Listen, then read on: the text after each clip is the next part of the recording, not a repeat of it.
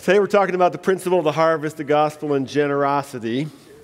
So let me read this text for you from the Apostle Paul, 2 Corinthians, and then we'll uh, get into our subject for today. He writes, Now he who supplies seed to the sower and bread for food will also supply and increase your store of seed and will enlarge the harvest of your righteousness. You will be made, you will be made rich in every way so that you can be generous on every occasion, and through us, your generosity will result in thanksgiving to God. Let me, um, you actually got a twofer today. I heard this story a long time ago. Uh, two guys shipwrecked on a deserted island. One is distraught, uh, starts uh, immediately trying to gather sticks to build a fire so they can send off uh, signals to maybe get rescued by someone. Uh, the other one is very calm and relaxed, just sitting on the sand looking out at the ocean. The distraught guy says to the calm guy, How can you just sit there? Don't you know we could die on this island?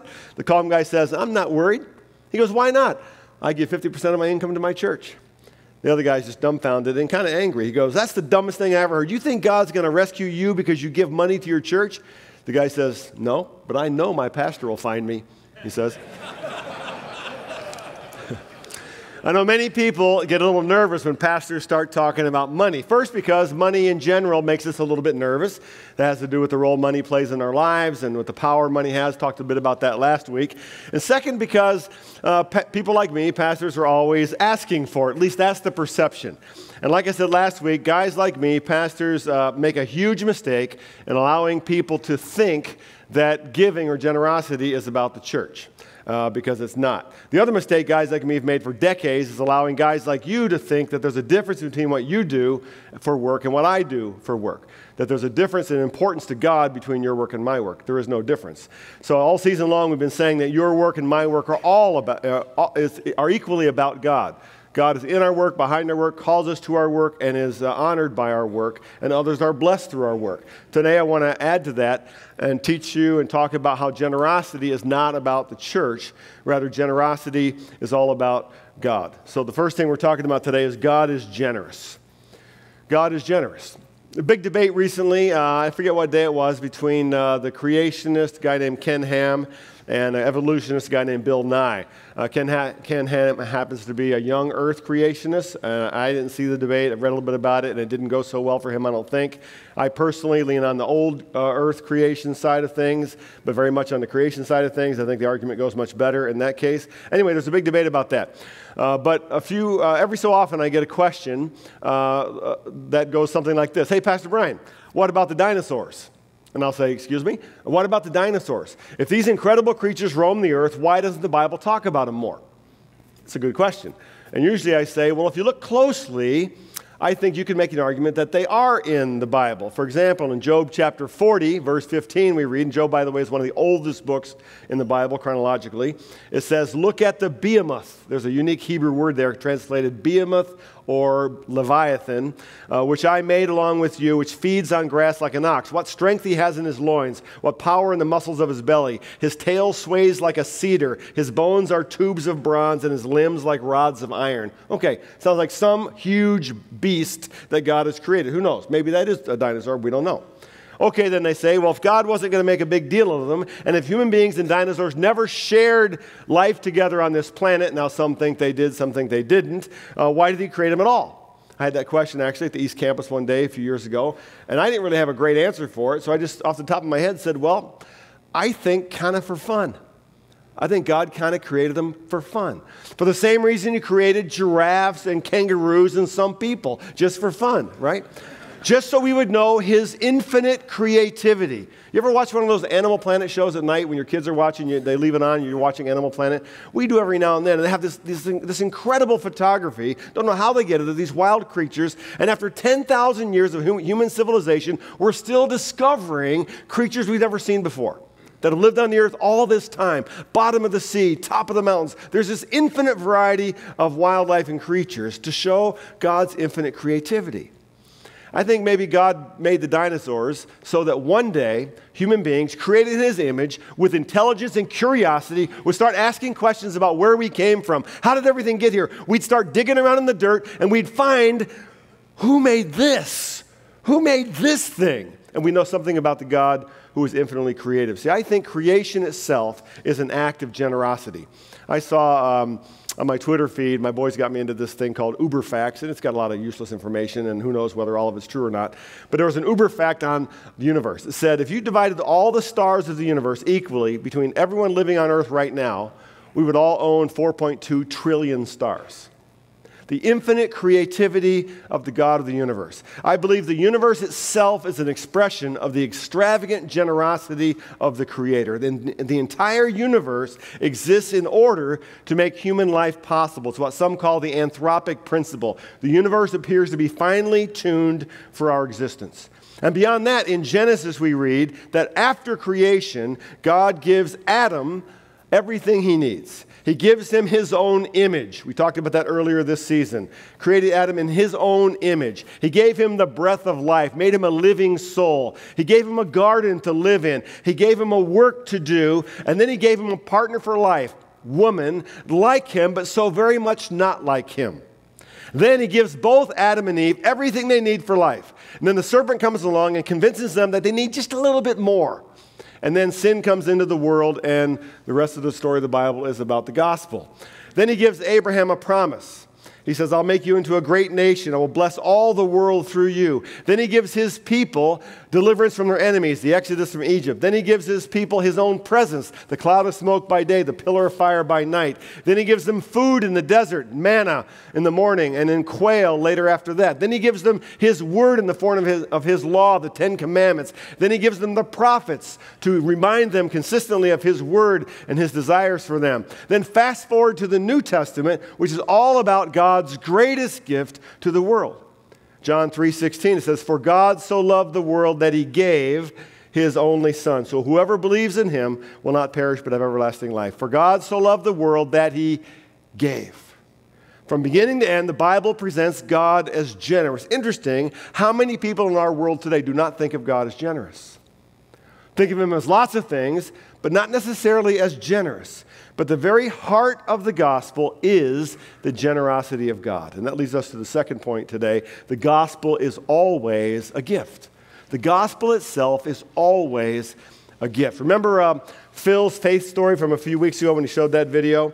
How he talked about he was into sex, drugs, and rock and roll as a lifestyle up into his 20s. Finally, as his life was headed south, uh, his family was breaking apart. He was uh, addicted to alcohol and drugs. He sat still, let a preacher explain the gospel to him, and he realized that it took the blood of God, that's his language, took the blood of God to forgive his sins, which were many, he said.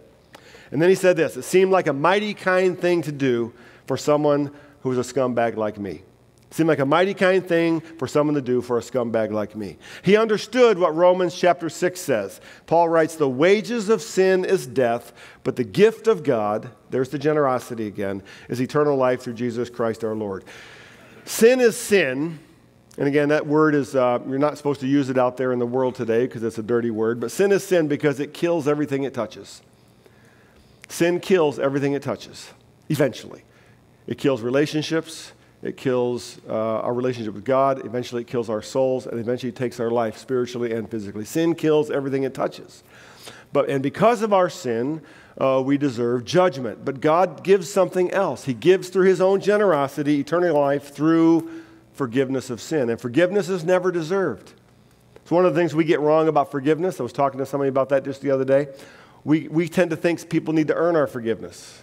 We struggle to forgive because we think people need to deserve it. Well, forgiveness is never deserved, ever. Forgiveness is always a gift.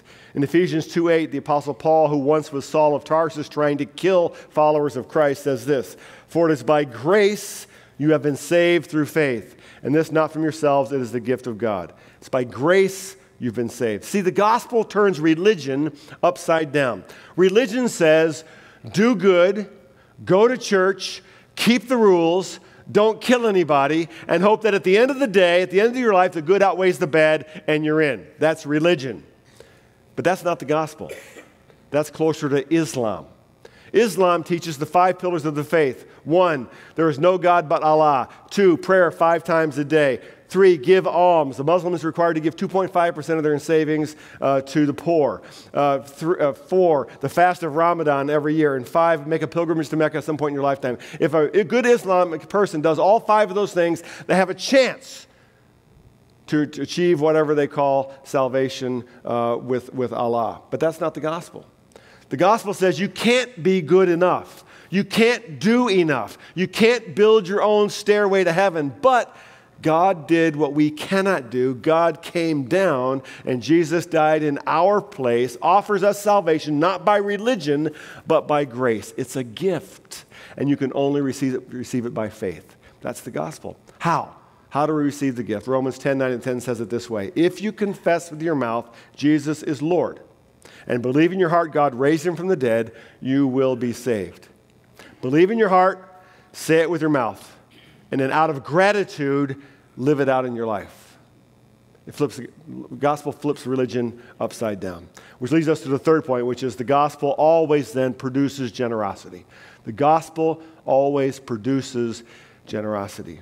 Long time ago, summer of 1982, uh, I did a ministry internship in Pittsburgh. I was just considering God's call in my life at that point. A long time ago. I uh, hadn't yet been to seminary or anything. My dad had a pastor friend of his in uh, inner city Pittsburgh, offered me a seven week internship.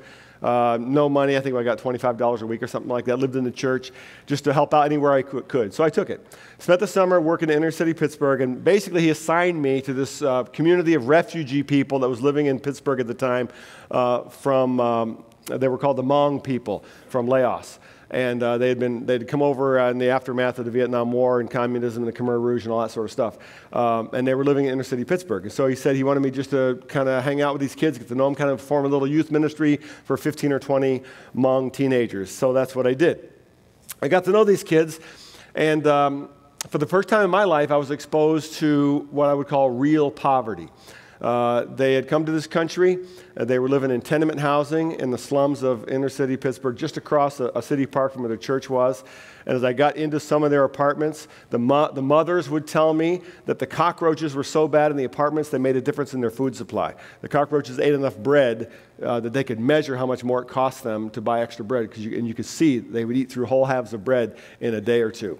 Uh, just a kind of poverty you could smell and, and just being around. And so they went from war to that sort of life and to uh, extreme poverty. To earn money, uh, the women and the kids would spend the night times digging up night crawlers. At nighttime, I'd go to bed, I'd look out my window.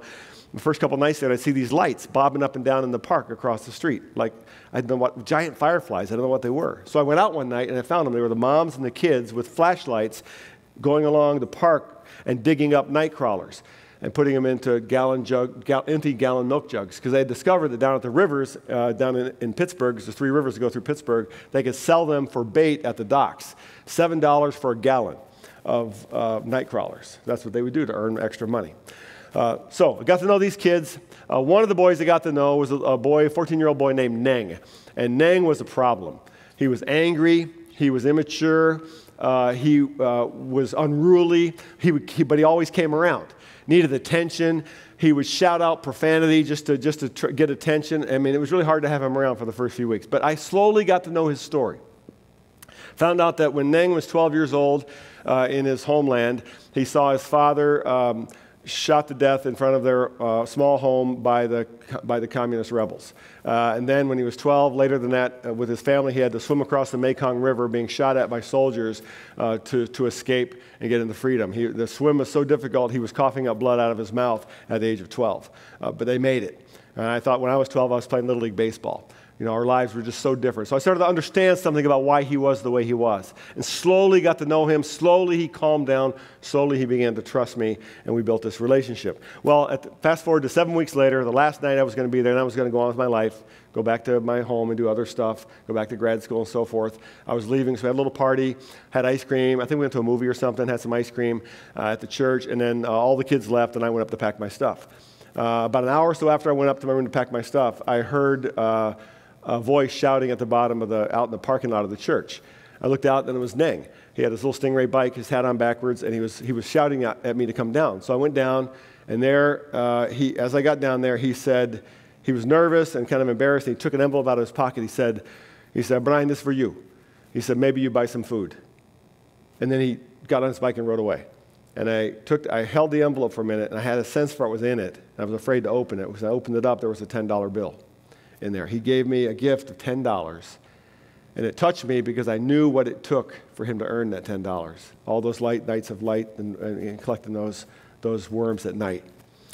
I gave a few weeks of my time, just a few weeks of my time, and then I was going to go on with my life. But this young Hmong boy, coming from where he came from, gave me a gift I never forgot. $10. Might as well have been 10000 It's been 34, 32 years, and I still can't forget that gift and the impact it made. What is generosity? Generosity is a form of gratitude. Generosity is a form of love. The best definition I've ever come up with is freedom from smallness of heart. The gospel produces generosity, and generosity produces more generosity. Let me read these, this text again so you hear it in context. Now, he who supplies seed to the sower and bread for food, he who gives us everything we need, will also supply and increase your store of seed and will enlarge the harvest of your righteousness. You will be made rich in every way so that you can be generous on every occasion, and through us, your generosity will result in thanksgiving to God. The Bible's trying to teach us that God's generosity is intended to create generosity in us. Yes, with our money, but much more than that, with our time. And the older I get, that's more difficult than money sometimes. With our money, with our time, with our talents, and with our hearts. Not just in church, but in, in our work and in our homes. Generosity then leads people toward God. Generosity by itself leads people toward God. Paul says, You will be made rich in every way, so you can be generous on every occasion money, time, talent, heart. And through us, your generosity, watch, will result in thanksgiving to God. Here's the questions I want you to deal with around the table today. First, who have you known in your life who was truly generous? And how did that person display generosity? We've all had the blessing of knowing someone who just had a generous spirit about them uh, find that person in your life, talk about what they were like and why. Secondly, list five examples of God's generosity to you that you often or maybe always take for granted. Find five examples of God's generosity to you that you tend to take for granted. And third, in which area do you find it most difficult to be generous and why? Money, with your time, or with your heart? See if you get that far in your discussion. I'll wrap you up right before 7 o'clock.